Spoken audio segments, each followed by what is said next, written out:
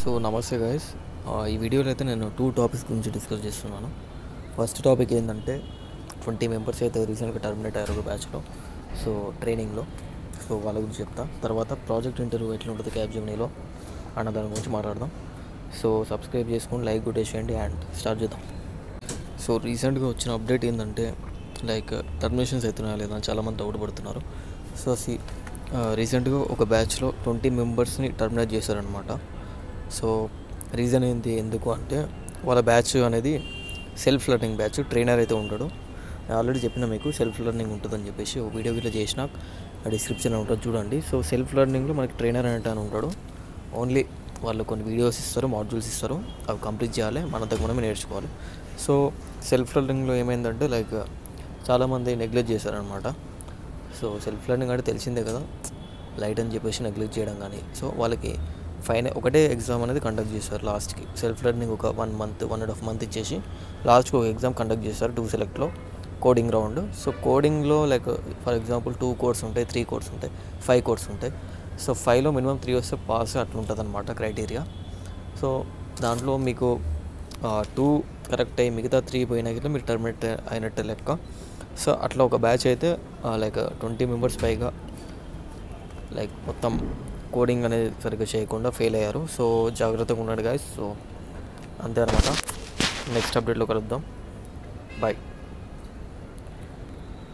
And ఇంకో విషయం చెప్పడం మర్చిపోయినా లైక్ మీకు రీసెంట్గా మీ బ్యాచెస్లో కానీ ఎవరైతే టర్మినేట్ ఎవరైతే చే అయ్యారో ఎవరైతే ఉన్నారో మీ ఫ్రెండ్స్కి సంబంధించిన కానీ మీ బ్యాచ్ వాళ్ళు కానీ సో కింద అయితే కామెంట్ చేయండి. సో దట్ వేరే బ్యాచ్ వేరే లైక్ స్టూడెంట్స్ కింద చూస్తారు. వాళ్ళకి కొంచెం హెల్ప్ఫుల్ అవుతుంది.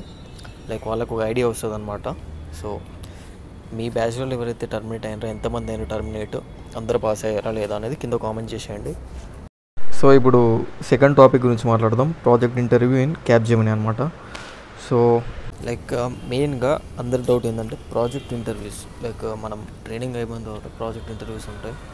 సో ప్రాజెక్ట్ ఇంటర్వ్యూస్లో ఎట్లాంటి క్వశ్చన్స్ అడుగుతారు ఏం అడుగుతారు అని చాలామంది అయితే నన్ను క్వశ్చన్ అడిగారు.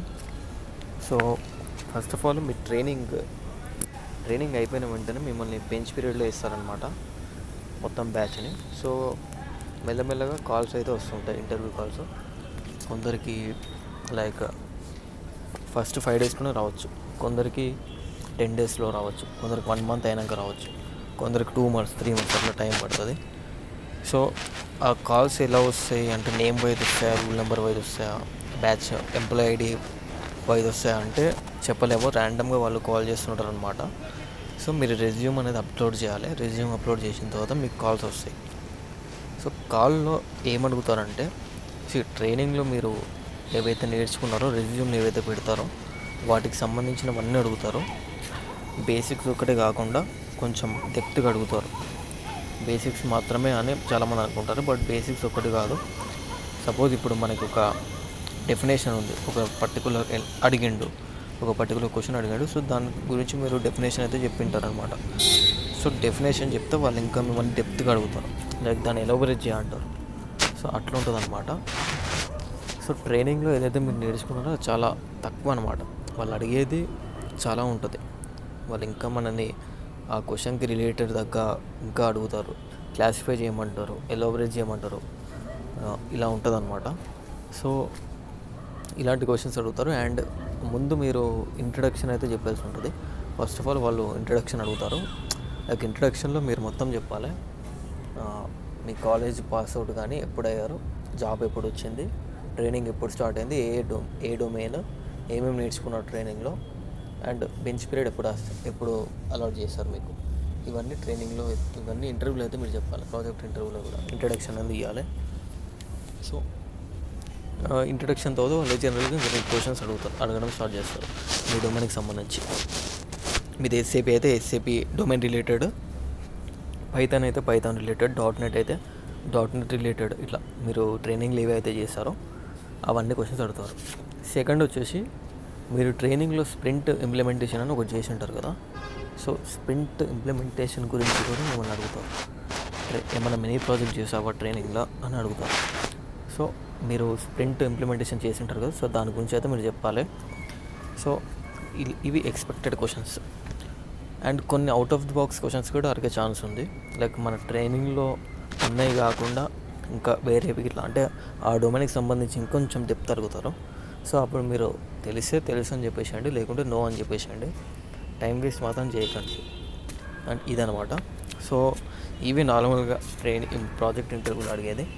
అండ్ ప్రాజెక్ట్ ఇంటర్వ్యూలో మీకు ఇంటర్వ్యూ అయిపోయిన తర్వాత మీరు సెలెక్ట్ అయినరా కాదా అన్నది ఎట్లా తెలుస్తుంది అంటే ఒకవేళ మీరు సెలెక్ట్ అయితే వాళ్ళు వెంటనే మీకు నెక్స్ట్ డే నైట్ లోపు మీకు మెయిల్ వచ్చి వస్తుంది ట్యాగింగ్ మెయిల్ వచ్చి వస్తుంది ప్రాజెక్ట్కి ట్యాగ్ అయినట్టు ప్రాజెక్ట్ డీటెయిల్స్ అని పంపుతారనమాట సెలెక్ట్ కాకుంటే మెయిల్ ఏం రాదు. సో మెయిల్ రాకుంటే మీరు సెలెక్ట్ కానట్టే మళ్ళీ నెక్స్ట్ ఇంటర్వ్యూ కాల్ కోసం వెయిట్ చేయాలి. సో ఇది ప్రాజెక్ట్ ఇంటర్వ్యూ ఒక డీటెయిల్డ్ అనమాట సో అంతే ఇంకా ఈ వీడియోలో. మీకు ఆల్రెడీ దీని మీద వీడియో అయితే చేశాను. సో డిస్క్రిప్షన్లో అయితే ఆ వీడియో ఇస్తాను. ఒకసారి వెళ్ళి చెక్ చెక్ చేయండి. అండ్ మీకు ఇంకేమైనా డౌట్స్ ఉంటే రిగార్డింగ్ దేని మీద లేటెస్ట్ అప్డేట్స్ ఏమైనా వచ్చినా దాని మీదన్నా సరే నేను మీకు వీడియో చేస్తాను. కింద కామెంట్ చేయండి ఏమైనా డౌట్ ఉంటే. అండ్ సబ్స్క్రైబ్ చేసుకోండి. థౌజండ్ ఫాలో థౌజండ్ సబ్స్క్రైబర్స్కి దగ్గరలో ఉన్నాం. సో థౌజండ్ చేసి పడేసేయండి. రైట్ ఉంటాం మళ్ళీ బాయ్